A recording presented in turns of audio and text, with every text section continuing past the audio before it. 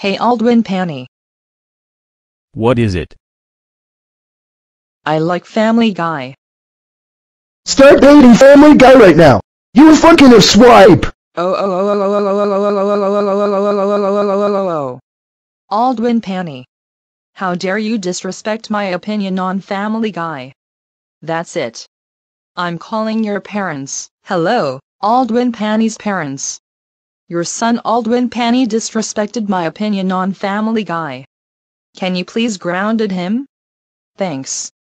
Goodbye. Aldwin Panny, how dare you disrespect Skyler Hawkins' opinion on Family Guy?